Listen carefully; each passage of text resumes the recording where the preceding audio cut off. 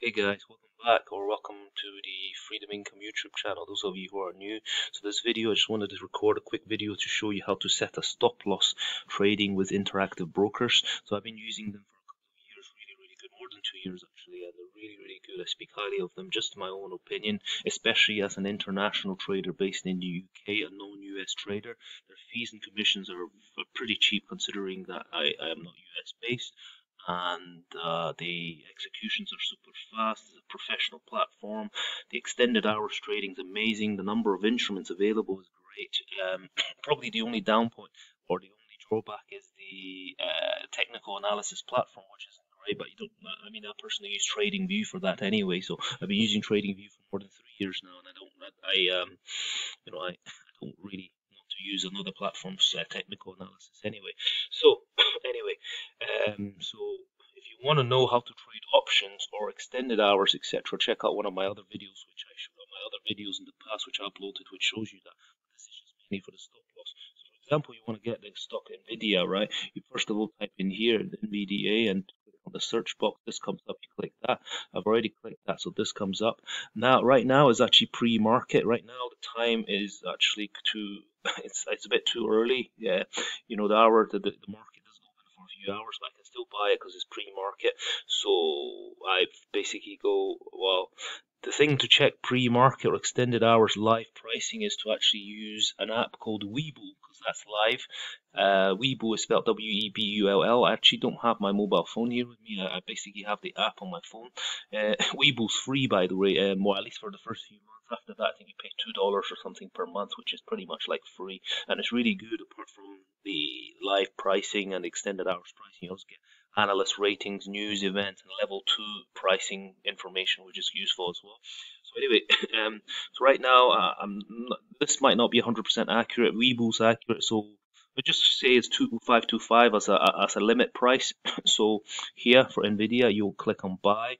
Uh, however many, you know, it depends on what you want. Let's just say buy for now. Um, and here, oh, actually here it actually says here. The thing is with interactive brokers, I know it says the price here, but with a real account, unless if you subscribe to their data, live pricing data, this is not live. That's why I suggest using Webull, but because if you subscribe to Interactive Brokers, it might cost you $20, $30 a month. I think it is $20, $30 a month, but I don't do that. I basically subscribe to Webull, which costs me like $2 a month, and I get all this anyway.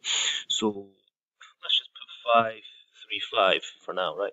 But you, you want to check Webull though, uh, for that. So you want limit price, if you want to fill immediately, you want the limit price to be higher than the current trading price. Uh, well, unless if you want to buy at a lower price, then you set it lower and when the price drops there, will get there. And here I always choose GTC. For extended, extended hours trading, you want to click here, fill outside RTH. That's the only way to fill if it's not during a market open. And then you click on advanced here. You can see here advanced and you attach a stop loss. You can actually do a profit taker as well. So let's say you check the the, the, the chart, right? And let's say you want to take profit before this sort of previous all-time high.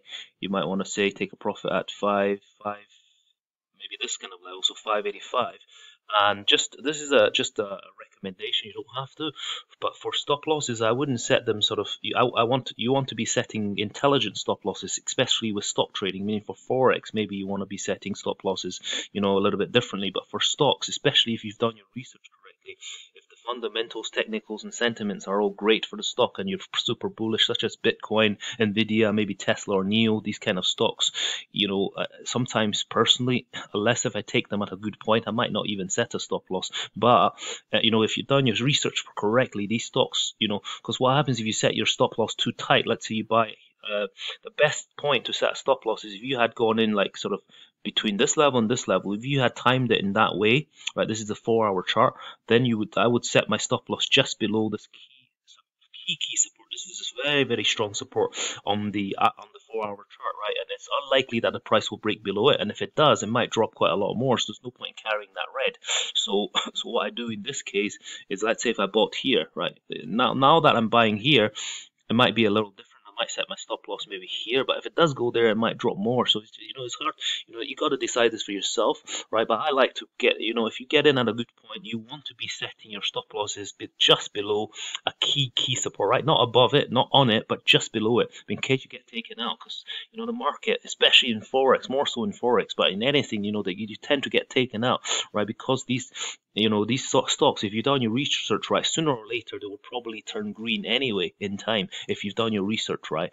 Um so sometimes if you set your stop let's say you buy at five let's right now right now let's say the price is 530 you buy at 530 there's no point in setting a stop loss at 520 because you might get taken out and then it goes your way. Uh, and you know why you know why get taken out such a tight stop loss when it's going to come back? So set them intelligently. So in this case, if you had bought there, but like ideal stop loss will be about maybe this level, 450ish, right? But now you're buying at 535. Is it worth it to set it at 450? Decide that yourself. But let's say we're going to set it at 5 450 right now. Ideally, you like to catch it below 500 back here, and then set it below sort of uh, set it at about 450 that's perfect right? But anyway let's just go here. So let's say we want a profit taking at 585 because that was sort of near the all-time high. You just put profit taker here.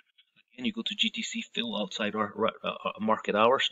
The thing is you can uh, you, you can you can the the the take profit you can set it during extended hours trading okay? So you just click that. And even during pre-market or post-market if you stop if your take profit levels hit on the stop it will automatically close your position and bag your profits for you which is really good right? But for your stop loss again if you want a stop loss you just click on stop loss right? Again we said uh, the stop loss at about 450 right? You might not want to set it price uh, the price you're buying it at is no longer my, uh, at, at 500 or less but it's up to you what, what you want the stop loss to be but 450 is what I call an intelligent stop loss because it's below a key key support, which is unlikely to break. And if it does, it might drop more. So it's up to you what you decide there, what your risk measures are, and then you can only click GTC for this, but because because with stop losses they do not hit during pre-market or post-market. Extended hours trading does not hit your stop loss.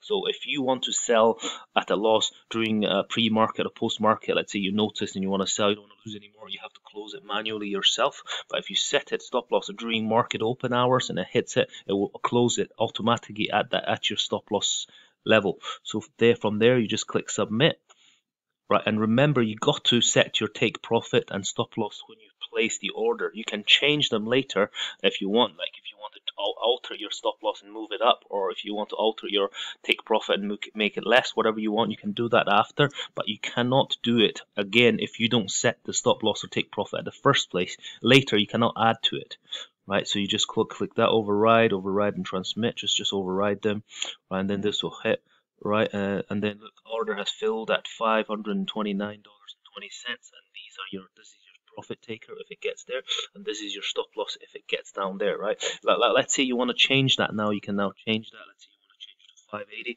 you just click on 580 the price, and then you click update, and that updates your take profit. Again, here if you want to reduce that or if you want to keep it a bit less, so let's say you want it at 500, you click on 500, you click update, so you can change that as much as you want afterwards, you must set it when you place the order because if you place the order already without it, you cannot add it after. You have to manually close it yourself afterwards.